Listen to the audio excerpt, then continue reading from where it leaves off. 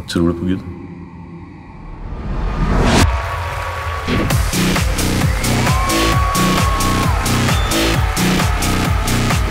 And the winner is Miriam Hane!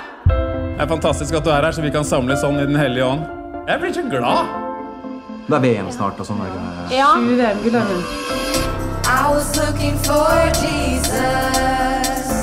Du har fått alle korta. Du må spille det riktig, da. Han har noe helt eget planlagt for deg.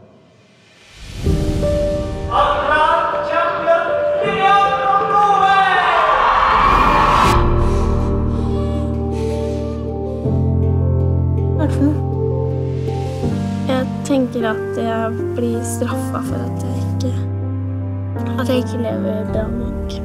Fyll hjertet ditt med Jesus. Jeg lurer på om Djevelens er i gang med å få deg ut av fokuset fra Jesus. Du må jo få drevet ut han igjen.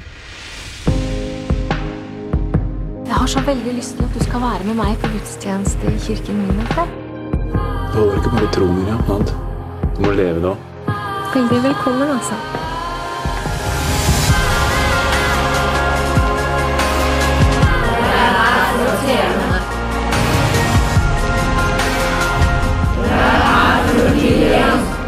Bare passe på å være like vakker på innsiden som du er på utsiden. sant? Og vi vet hvordan det vil gå med dem som ikke følger Jesus.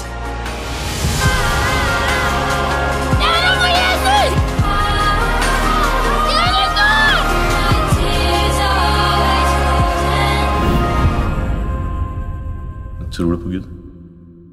I need to remember